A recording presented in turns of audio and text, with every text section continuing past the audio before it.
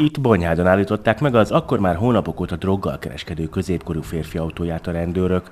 A telefonját már egy ideje lehallgatták, tudták, mikor érdemes elfogni. A ruházata átkutatásakor végül találtak is nála több zacskóban és alufóliában fehérport, így azonnal le tudták tartóztatni. Később kiderült, hogy legalább négy főnek hetente adott el az anyagból, amit ő maga is fogyasztott. A férfi tavaly év eleje óta ül börtönben, most pedig a bíró úgy döntött, még jó ideig ott is marad.